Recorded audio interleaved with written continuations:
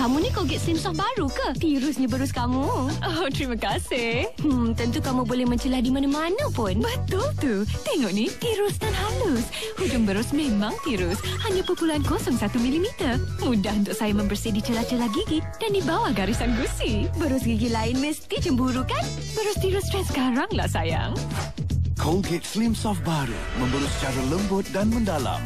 Colgate disyorkan oleh doktor-doktor pergigian.